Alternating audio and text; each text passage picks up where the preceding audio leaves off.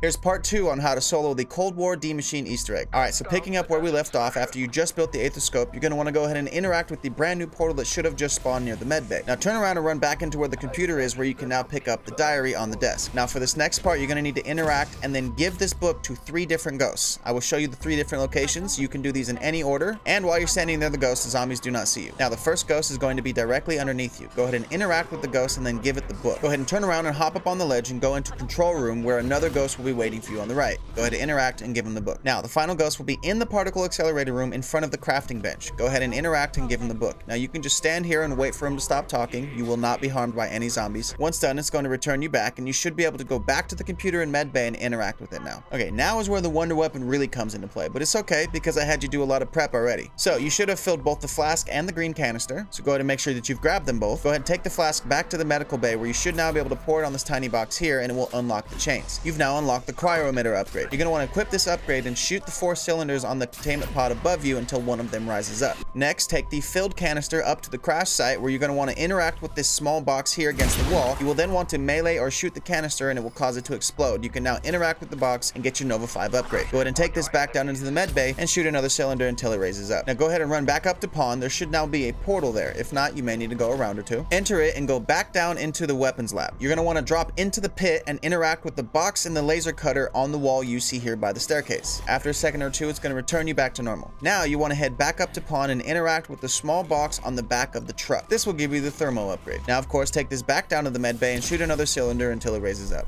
Now, I've saved the best upgrade for last. You're going to want to go ahead and re-equip the Frost upgrade. Then you're going to want to go underneath the Particle Accelerator to this new portal that should have spawned. Now, enter it, and inside here, you're going to need to absorb three crystals around the map. Now, these crystals are always in the same spot. I will show you where they all are. It is possible to get all three crystals in one go, but it's not necessarily easy. Regardless, one is going to be on top of the starting building. Go ahead and absorb it, run back to the box, and shoot it at the box. You'll know you've done it correctly if one of the three bulbs lights up. The next one is going to be in pond on the rocks opposite the quick revive perk. Go ahead and do with this one the same thing you did with the last one. Now for the last crystal, you're going to want to go to crash site. It's going to be on the right near the entrance to the tunnel from the beginning. Go ahead and absorb this one, bring it back down in the box, and you should now have your electro bolt upgrade. Now with this final upgrade, go back to medbay and hit the final cylinder. Now at this point, I highly recommend getting a Semtex or a C4 if you don't have one already. Now with all that done, go back to medbay and you should see a new portal has spawned. Go ahead and interact with this portal and you should now have a ghost waiting for you on the top floor of medbay. Once he's done talking, it will return you to normal and you're going to want to pick up the wrench that will be in front of you. Go ahead and head back to the starting area where you're going to want to interact three times times with the tank. What's going to happen is a zombie is going to pop out the top hatch and you're going to want to either take a Semtex or a C4, throw it at the hatch and blow it up. If done correctly, the tank will fire. You can then now go back to crash site where a bronze orb should be waiting for you on the ground. Now be warned, when you pick this bronze orb up, it will slow you down. However, if you're walking backwards while watching the mini map, you can move much faster. Now I understand this might not be for everybody, but regardless, you're going to need to take this back down to med bay and insert it into the open slot in the wall. Next, you're going to need to get a megaton, split it, and get both halves under the containment pod in the med bay. Once both halves have been absorbed into the pod, you can then go up to the computer and interact with it. Here, you'll now be safe for a few minutes as you listen to the NPC talk. Now, once those doors open, the last step is just to get ready for the boss fight because things are about to get real. So here's where you're going to want to make sure you are perked up, packed up, got yourself revives, maybe even a death machine, and you're good to go. So whenever you're ready, go ahead and head back to the starting area, and inside the main building on the first floor, you should now have a brand new portal. Go ahead and enter it and go back to the main starting room where you should now have a new ghost to interact with. Once he's done talking, interact with the picture on the table and it will teleport you into the boss room. Now talk with Orlov one final time and then he's going to go around to three different machines and you're going to be tasked with protecting him on all three machines. Now, this fight isn't terribly hard. Orlov does have a good amount of health, but you still will want to make sure that you keep the zombies off of Orlov as best as you can. Now, once all three are done, he's going to give you one final speech when the doors are going to open. Now, when these doors open, you're going to need to run out to the pond area. However, there's going to be beams of light spread out everywhere around the map. These will kill you if you walk into them. So make sure and try to follow my path as best as you can. In this video, I couldn't make the jump over the gap for some reason, but don't fret if you can't, you can still climb up here. You're want to make your way out of med bay, up the staircase to the right, back through tunnel, and make your way through crash site. Be sure to follow the path you see me taking here all the way to pond. When you get here, you might have to wait a couple seconds, but the helicopter should show up. Just hop in, and congratulations, you've now beat the Machine. Now let me know if you guys want me to do Firebase Z as well. I'll get that video up in the next day or two. Otherwise, if this video helped you out, please hit that like, and do not forget to follow me so you guys don't miss out on any upcoming Zombies content. Otherwise, see you guys around.